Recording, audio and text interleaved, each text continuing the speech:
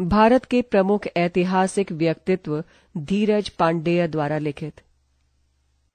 अश्वघोष संस्कृत में बौद्ध महाकाव्यों की रचना का सूत्रपात सर्वप्रथम महाकवि अश्वघोष ने ही किया था। अतः महाकवि अश्वघोष संस्कृत के प्रथम बौद्ध कवि हैं। चीनी अनुश्रुतियों तथा साहित्यिक परंपरा के अनुसार महाकवि अश्वघोष सम्राट कनिष्क के राजगुरु एवं राजकवि थे। इतिहास में कम से कम दो कनिष्कों का उल्लेख मिलता है। द्वितीय कनिष्क, प्रथम कनिष्क का पौत्र था। दो कनिष्कों के कारण अश्वघोष के समय असंदिग्ध रूप से निर्णीत नहीं था। विंटरनिट्स के अनुसार कनिष्क 125 ईस्वी में सिंहासन पर आसीन हुआ था। तदनुसार अश्वघोष का स्थिति काल भी द्वितीय शती ईस्वी माना जा सकता है। परंतु अधिकांश विद्वानों की मान्यता है कि कनिष्क शक संवत का प्रवर्तक है। ये संवत्सर अठहत्तर ईस्वी से प्रारंभ हुआ था। इसी आधार पर कीथ अश्वघोष का समय सौ ईस्वी के लगभग मानते हैं। कनिष्क का राज्य काल अठहत्तर ईस्वी से 125 ईस्वी तक मान लेने पर महाकवि अश्वघोष का स्थिति काल भी प्रथम शताब्दी माना जा सकता है। बौद्ध धर्म के ग्रंथों में भी ऐसे अनेक प्रमाण मिलते हैं, जिनके आधार पर अश्वघोष सम्राट कनिष्क के समकालीन सिद्ध होते हैं। चीनी परंपरा के अनुसार सम्राट कनिष्क के द्वारा कश्मीर के कुंडलव में आयोजित अनेक अंत साक्ष्य भी अश्वघोष को कनिष्क का समकालीन सिद्ध करते हैं। अश्वघोष कृत बुद्ध चरित का चीनी अनुवाद ईसा की पांचवीं शताब्दी का लगता है। इससे विदित होता है कि भारत में पर्याप्त रूपेण प्रचारित होने के बाद ही इसका चीनी अनुवाद हुआ होगा। सम्राट अशोक का राज्यकाल ईसवी पूर्व दो सौ उनहत्तर से दो ईसवी पूर्व है। ये तथ्य पूर्णतः इतिहास सिद्ध है। बुद्ध चरित के अंत में अशोक का उल्लेख होने के कारण ये निश्चित होता है कि अश्वघोष अशोक के परवर्ती थे। चीनी परंपरा अश्वघोष को कनिष्क का दीक्षा गुरु मानने के पक्ष में है। अश्वघोष कृत अभिधर्म पिटक की विभाषा नामनी एक व्याख्या भी प्राप्त होती है, जो कनिष्क के ही समय में रची गई थी। अश्वघोष रचित शारी पुत्र प्रकरण के आधार पर प्रोफेसर ल्यूडर्स ने इसका रचनाकाल हुविश्क का शासनकाल स्वीकार किया है। हुविश्क के राज्यपाल में अश्वघोष की विधानसभा ऐतिहासिक दृष्टि से अप्रामाणिक है। इनका राज्यारोहण काल कनिष्क की मृत्यु के 20 वर्ष के बाद है। हुविश्क के प्राप्त सिक्कों पर कहीं भी बुद्ध का नाम नहीं मिलता, किंतु कनिष्क के सिक्कों पर बुद्ध का नाम अंकित है। कनिष्क बौद्ध धर्मावलंबी थे और हुविश्क ब्राह्मण धर्म का अनुयायी था, अतः अश्वघोष का उनके दरबार में विद्यमान होना सिद्ध नहीं होता। संस्कृत के प्रथम बौद्ध महाकवि अश्वघोष के जीवन वृत्त से संबंधित अत्यल्प विवरण ही प्राप्त है। सौंदर नंद नामक महाकाव्य की पुष्पिका से ज्ञात होता है कि इनकी माता का नाम सुवर्णाक्षी था तथा ये साकेत के निवासी थे। ये महाकवि के अतिरिक्त भदंत, आचार्य तथा महावादी आदि उपाधियों से विभूषित थे। उनके काव्यों की अंतरंग परीक्षा से ज्ञात होता है कि वे जाति से ब्राह्मण थे तथा वैदिक साहित्य महाभारत रामायण के मर्मज्ञ विद्वान थे। उनका साकेतक होना इस तथ्य का परिचायक है कि उन पर रामायण का व्यापक प्रभाव था। सम्राट कनिष्क के राजकवि अश्वघोष बौद्ध धर्म के कट्टर अनुयायी थे। इनकी रचनाओं पर बौद्ध धर्म एवं गौतम बुद्ध के उपदेशों का पर्याप्त प्रभाव परिलक्षित होता है। अश्वघोष ने धर्म का प्रसार करने के उद्देश्य से ही कविता लिखी थी। अपनी कविता के विषय में अश्वघोष की सुस्पष्ट उद्घोषणा है कि मुक्ति की चर्चा करने वाली ये कविता शांति के लिए है, विलास के लिए नहीं। काव्य रूप में ये इसलिए लिखी गई है ताकि अन्य मनस्क श्रोता को अपनी ओर आकृष्ट कर सके। अश्वघोष बौद्ध दर्शन साहित्य के प्रकांड पंडित थे। इनकी गणना उन कलाकारों की श्रेणी में की जाती है, जो कला की यवनिका के पीछे छिपकर अपनी मान्यताओं को प्रकाशित करते हैं। इन्होंने कविता के माध्यम से बौद्ध धर्म के सिद्धांतों का विवेचन कर जन साधारण के लिए सरल, सुलभ एवं आकर्षक बनाने का सफल प्रयास किया। इनकी समस्त रचनाओं में बौद्ध धर्म के सिद्धांत प्रतिबिंबित हुए हैं। भगवान बुद्ध के प्रति अपरिमित आस्था तथा अन्य धर्मों के प्रति सहिष्णुता महाकवि अश्वघोष के व्यक्तित्व की अन्यतम विशेषता है। अश्वघोष कवि होने के साथ ही संगीत मर्मज्ञ भी थे। उन्होंने अपने विचारों को प्रभावशाली बनाने के लिए काव्य के अतिरिक्त गीतात्मकता को प्रमुख साधन बनाया। बहुमुखी प्रतिभा के धनी तथा संस्कृत के बहुश्रुत विद्वान महाकवि अश्वघोष में शास्त्र और काव्य सर्जन की अपार प्रतिभा थी। उनके व्यक्तित्व में कवित्व तथा आचार्यत्व का मणिकांचन संयोग था। उन्होंने सज सूची, महायान श्रद्धोत्पाद शास्त्र तथा सूत्रालंकार अथवा कल्पना मंडितिका नामक धर्म और दर्शन विषयों के अतिरिक्त शारीपुत्र प्रकरण नामक एक रूपक बुद्ध चरित तथा सौंदर नंद नामक दो महाकाव्यों की भी रचना की। इन रचनाओं में बुद्ध चरित महाकवि अश्वघोष का कीर्ति स्तंभ है। इसमें कवि ने तथागत के सात्विक जीवन का सरस वर्णन किया है। सौंदर नंद अश्वघोष प्रणीत द्वितीय महाकाव्य है। इसमें भगवान बुद्ध के अनुज नंद का चरित वर्णन है। इन रचनाओं के माध्यम से बौद्ध धर्म के सिद्धांतों का विवेचन कर उन्हें जनसाधारण के लिए सुलभ कराना ही महाकवि अश्वघोष का मुख्य उद्देश्य था। इनकी समस्त रचनाओं में बौद्ध धर्म के सिद्धांत सुस्पष्ट रूप से प्रतिबिंबित हैं। अश्वघोष प्रणीत महाकाव्यों में बुद्धचरित अपूर्ण तथा सौंदरानंद पूर्ण रूप में मूल संस्कृत में उपलब्ध हैं। पुष्यमित्र शुंग पुष्यमित्र शुंग उत्तर भारत के शुंग साम्राज्य के संस्थापक और प्रथम राजा थे। इससे पहले वो मौर्य साम्राज्य में सेनापति थे। प्राचीन भारतीय शासकों में पुष्यमित्र शुंग एक महत्वपूर्ण स्थान रखता है। उसने मौर्य साम्राज्य के बिखराव को रोकने का प्रयास किया। अयोध्या अभिलेख में उसके लिए सेनापति शब्द का प्रयोग किया गया। पाटलिपुत्र उसके राज्य की राजधानी थी और उसने अवंती राज्य में स्थित विदिशा नगर, पूर्वी मालवा, मध्य प्रदेश में साम्राज्य की दूसरी राजधानी स्थापित की। विदिशा में अग्निमित्र को उपराजा के रूप में नियुक्त किया गया। इस प्रकार साम्राज्य के विभिन्न भागों पर अपने प्रतिनिधियों को नियुक्त कर पुष्यमित्र ने केंद्रीय नियंत्रण स्थापित किया। वो स्वयं पाटलिपुत्र से शासन करता था। पुष्यमित्र के राज्यकाल की एक महत्वपूर्ण घटना है। विदर्भ के साथ संघर्ष, विदर्भ राज्य का उत्थान मौर्य साम्राज्य के अवशेषों पर हुआ था। मालविकाग्निमित्रम से हमें इस संघर्ष के विषय में जानकारी मिलती है। उस समय की दूसरी महत्वपूर्ण घटना है, भारत पर यवनों पर का आक्रमण एवं पुष्यमित्र शुंग के साथ उसका युद्ध। गार्गी संहिता के युग पुराण से पता चलता है कि यवनों ने साकेत, यानी अयोध्या पांचाल, यानी गंगा यमुना के दोआब और मथुरा पर विजय हासिल कर ली। पृष्ठ अस्सी, पतंजलि के महाभाष्य और कालिदास के मालविकाग्निमित्रम में भी यवन आक्रमण का उल्लेख हुआ है। इस युद्ध में पुष्यमित्र की विजय हुई। इस विजय के उपलक्ष्य में शुंग शासक ने अश्वमेध यज्ञ किया।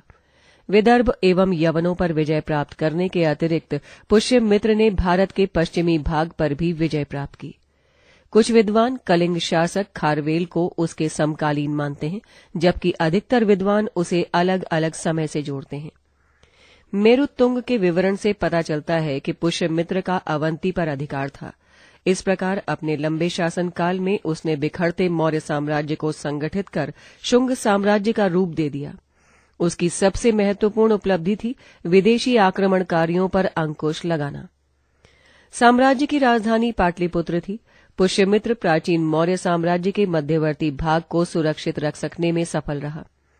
पुष्यमित्र का साम्राज्य उत्तर में हिमालय से लेकर दक्षिण में बरार तक तथा पश्चिम में पंजाब से लेकर पूर्व में मगध तक फैला हुआ था। दिव्यावदान और तारानाथ के अनुसार जालंधर और सियालकोट पर भी उसका अधिकार था। साम्राज्य के विभिन्न भागों में राजकुमार या राजकुल के लोगों को राज्यपाल नियुक्त करने की परंपरा चलती रही। पुष्यमित्र ने अपने पुत्रों को साम्राज्य के विभिन्न क्षेत्रों में सह शासक नियुक्त कर रखा था और उसका पुत्र अग्निमित्र विदिशा का उपराजा था। धनदेव कौशल का राज्यपाल था। राजकुमार जी सेना के संचालक भी थे। पुष्यमित्र शुंग की मृत्यु एक सौ इक्यावन ईस्वी पूर्व के पश्चात इस साम्राज्य का पतन होना शुरू हो गया। उसकी मृत्यु के सौ वर्षों के अंदर ही शुंगों की सत्ता भी समाप्त हो गई। प्राप्त मुद्रा के आधार पर अनेक विद्वान मानते हैं कि उसकी मृत्यु के साथ ही शुंगों का राजनीतिक महत्व कमज़ोर हो गया। संत दादू दयाल। संत दादू दयाल संत कबीर के शिष्यों में से एक थे। संत कवि दादू दयाल का जन्म फागुन संवत 1601 सन 1544 ईस्वी को हुआ था। दादू दयाल का जन्म भारत के राज्य गुजरात के अहमदाबाद शहर में हुआ था, पर दादू के जन्म स्थान के बारे में विद्वान एक मत नहीं है। दादूपंथी लोगों का विचार है कि वो एक छोटे से बालक के रूप में अहमदाबाद के निकट साबरमती नदी में बहते हुए पाए गए।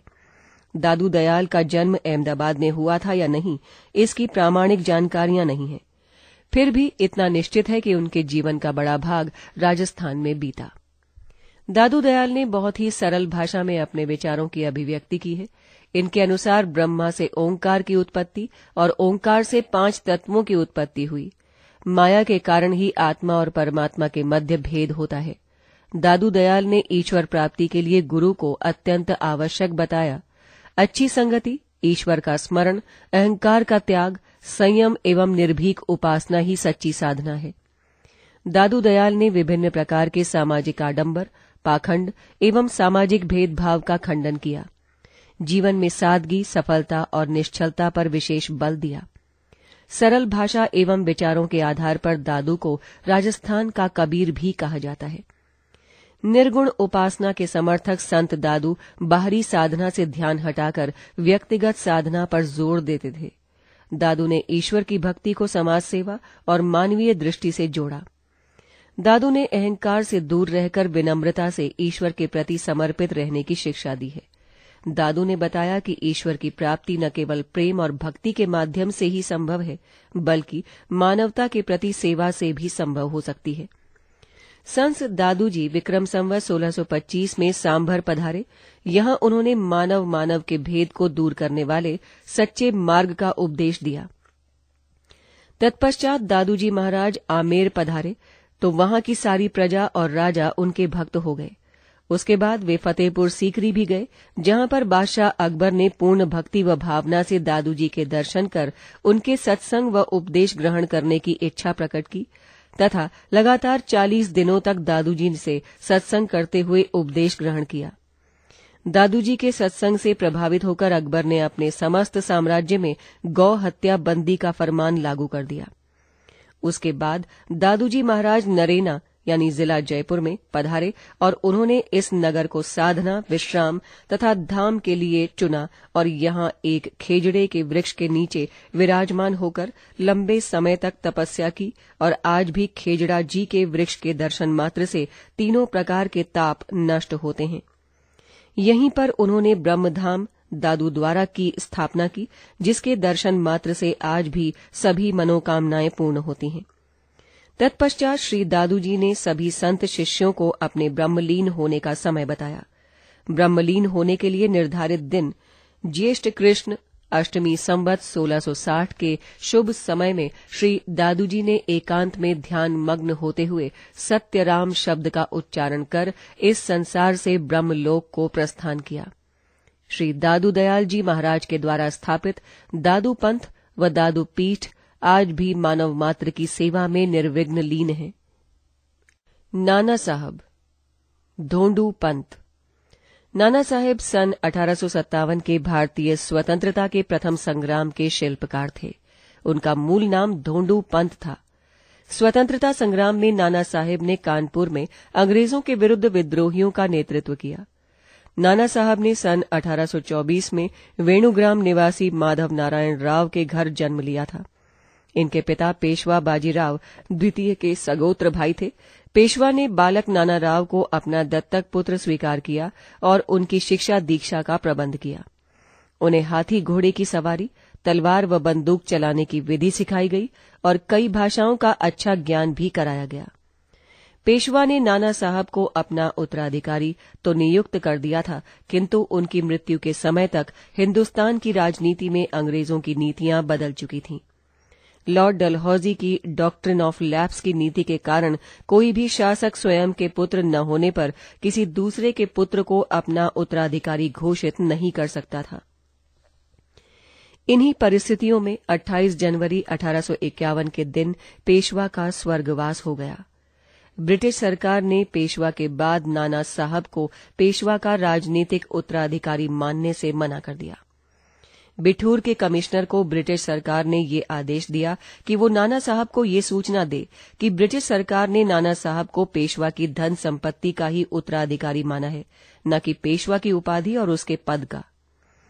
ब्रिटिश सरकार ने नाना साहेब को पेशवा के पद के राजनीतिक और व्यक्तिगत विशेषाधिकारों से भी वंचित कर दिया।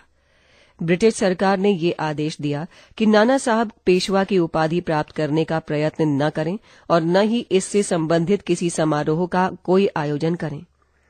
इन विपरीत परिस्थितियों में नाना साहब ने ब्रिटिश सरकार को धता बताते हुए पेशवा की उपाधि प्राप्त की और पेशवा की सारी संपत्तियों को उनके शस्त्रागार के साथ अपने नियंत्रण में ले लिया।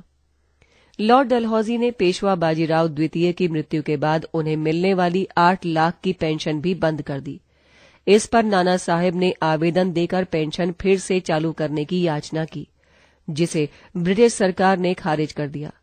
नाना साहब को अपने आश्रितों को वेतन देना होता था और अन्य खर्चों की भरपाई करनी होती थी, लेकिन पेंशन बंद हो जाने के बाद इस कार्य में बहुत दिक्कतें आने लगी। भारत में ब्रिटिश सरकार द्वारा बात न सुने जाने के कारण नाना साहब ने अजीमुल्ला खां को अपना वकील नियुक्त करके इंग्लैंड में महारानी विक्टोरिया के पास भेजा, लेकिन उनका ये प्रयास भी असफल रहा। अंग्रेज़ों के इस व्यवहार ने नाना साहब और अजीमुल्ला खां को ब्रिटिश सरकार का शत्रु बना दिया। अठारह में जब मेरठ में क्रांति का श्री गणेश हुआ तो नाना साहब ने बड़ी वीरता और दक्षता से क्रांति की सेनाओं का कभी गुप्त रूप से और कभी प्रकट रूप से नेतृत्व किया। क्रांति प्रारंभ होते ही उनके अनुयायियों ने अंग्रेज़ी खजाने से आठ दशमलव पाँच लाख रुपए और कुछ युद्ध सामग्री प्राप्त की। कानपुर के अंग्रेज़ एक गढ़ में कैद हो गए और क्रांतिकारियों ने वहाँ पर भारतीय ध्वजा फहराई। एक जुलाई अठारह को जब कानपुर से अंग्रेज़ों ने प्रस्थान किया तो नाना साहब ने पूर्ण स्वतंत्रता की घोषणा की तथा पेशवा की उपाधि भी धारण की। नाना साहब का अदम्य साहस कभी भी कम नहीं हुआ और उन्होंने क्रांतिकारी सेनाओं का बराबर नेतृत्व किया। फतेहपुर आदि के स्थानों में नाना के दल से और अंग्रेज़ों में भीषण युद्ध हुए। कभी क्रांतिकारी जीते तो कभी अंग्रेज़। तथापि अंग्रेज़ बढ़ते आ रहे थे। इसके अनंतर अंग्रेज़ी सेनाओं को बढ़ते देख नाना साहब ने गंगा नदी पार की और लखनऊ को प्रस्थान किया। भारतीय इतिहास की किताब में स्वर्ण अक्षरों में दर्ज है इनका नाम। अंग्रेज़ सरकार ने नाना साहब को पकड़वाने के निमित्त बड़े बड़े इनाम घोषित किए, किंतु वे निष्फल रहे। अठारह सौ सत्तावन के विद्रोह को कुचलने के बाद भी ब्रिटिश सरकार नाना साहब को पकड़ नहीं पाई। नाना साहब शिवाजी की भांति छापेमारी युद्ध करते रहे। नाना साहब ने कई कष्ट सहे, पर अंग्रेज़ों की पकड़ में नहीं आए। नाना साहब को पकड़ने के लिए ब्रिटिश सरकार ने इनाम की घोषणा भी की थी, किंतु वे पकड़ में नहीं आए। अठारह सौ सत्तावन विद्रोह के असफल होने पर नाना साहब सपरिवार नेपाल चले गए। अपने नेपाल प्रवास के दौरान वे देवखारी ग्राम में रुके थे। नेपाल में ही चौंतीस वर्ष की अवस्था में बुखार से पीड़ित होकर नाना साहब की 6 अक्टूबर अठारह को मृत्यु हो गई। नाना साहब पेशवा की समाधि मध्य प्रदेश के राजगढ़ ज़िले के कुरावर के पास पीलू खेड़ी में है। गुरु अर्जुन देव। सिखों के पाँचवें गुरु श्री अर्जुन देव जी को शहीदों का सरताज कहा जाता है। वो सिख धर्म के पहले शहीद थे। अर्जुन देव जी सिखों के चौथे गुरु रामदास जी के पुत्र थे। अर्जुन देव की माँ का नाम भानी था। उनकी पत्नी का नाम गंगा जी और पुत्र का नाम हरगोविंद सिंह था। जो आगे चलकर सिखों के छठवें गुरु बने। श्री गुरु अर्जुन देव जी का जन्म श्री गुरु रामदास जी के गृह में माता भानी जी की कोख से वैशाख बदी सात संवत 1620 मुताबिक 15 अप्रैल पंद्रह ईस्वी को गोइंदवाल साहिब में हुआ। इनका पालन पोषण गुरु अमरदास जी जैसे गुरु तथा बाबा बुड्ढा जी जैसे महापुरुषों की देखरेख में हुआ। इन्होंने गुरु अमरदास जी से गुरमुखी की शिक्षा हासिल की गोइंदवाल साहिब जी की धर्मशाला से आपने देवनागरी, पंडित बेणी से संस्कृत तथा अपने मामा मोहरी जी से गणित विद्या हासिल की। ग्रंथ साहिब का संपादन गुरु अर्जुन देव जी ने भाई गुरुदास की सहायता से 1604 में किया था। गुरुजी ने संदेश दिया कि महान जीवन मूल्यों के लिए आत्म बलिदान देने को सदैव तैयार रहना चाहिए। गुरु अर्जुन देव ने अमृत सरोवर का निर्माण कराकर उसमें हरमिंदर साहब का निर्माण भी कराया। जिसकी नींव सूफी संत मियाँ मीर के हाथों से रखवाई गई थी। सुखमनी साहिब उनकी अमरवाणी है। गुरुजी ने संदेश दिया कि महान जीवन मूल्यों के लिए आत्म बलिदान देने को सदैव तैयार रहना चाहिए। उन्होंने एक नगर भी बसाया, जिसका नाम रखा गया तरन तारन नगर। अर्जुन देव की रचना सुषमन पाठ का सिख नित्य पारायण करते हैं। अकबर की मौत के बाद उसका पुत्र जहांगीर बादशाह बना। वो गुरुजी की बढ़ती लोकप्रियता को पसंद नहीं करता था। उसे ये बात पसंद नहीं आई कि गुरुजी ने उसके भाई खुसरो की मदद की। उसने गुरुजी को शहीद करने का फैसला कर लिया। इतिहासकारों का यह भी मत है कि शहजादा खुसरो को शरण देने के कारण जहांगीर गुरु अर्जुन देव जी से नाराज़ था। 15 मई 1606 ईस्वी को बादशाह ने गुरुजी को परिवार सहित पकड़